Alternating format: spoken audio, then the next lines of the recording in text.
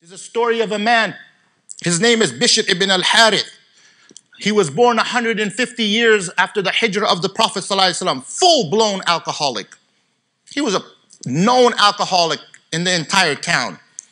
And one day he's, he's walking and, he, and he's staggering because he's so drunk and he sees this piece of paper with some kind of writing on it on the floor. So he goes and he picks up the paper and he wipes the dust off of it and it says, Bismillah, in the name of Allah. And all of a sudden, this compassion and devotion comes over him in a state of drunkenness. So he staggers to the closest market, to the closest store, and he buys some rose water. And he cleans it up and he puts rose water on it. And then he takes it to his house and he puts it in a high place of honor. And then that night, one of the shuyukh, one of the awliya, the saints of Allah subhanahu wa ta'ala, they have a dream. And then in the dream, it is said to them, Go find Harith and tell him this You have perfumed my name, so I have perfumed yours. You have exalted my name, so I have exalted yours. You have perfumed my name, so I have perfu- uh, you have purified my name, so I have purified you.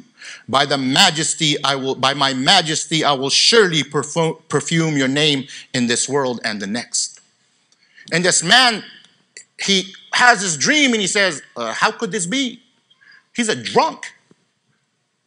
It must, you know, that, that that's not that was not divine. He, he pray, he make, gets, he makes wudu, he prays, goes back to sleep. Same dream again. Three nights in a row, same dream again. So finally he goes to Bishr and, he, and he's, and he's some kind, in some kind of brothel bar or something and he asks the people, where is he, where is he? And he says he's, he's right there and, and he's drunk and he goes up to him and says, Oh, Bishr. And he recognizes him. He's, he's one of the awliya, the saints of the town. And he, and he looks at him, he says, I got a message from Allah for you. And he starts screaming and he said, is it, is it a punishment? Is it a warning? What is it? And he tells him the dream. And when he tells him the dream, Bishr, he falls on his face crying. He falls and he makes Toba. And he from that day on devotes himself to Allah subhanahu wa ta'ala. And when the message came to him, he was barefoot. And he said that when this message came to me, I was bare feet. And I made my peace with Allah subhanahu wa ta'ala in that way. And Allah has said that He has made this world a carpet for us. So I will never walk with shoes on it again.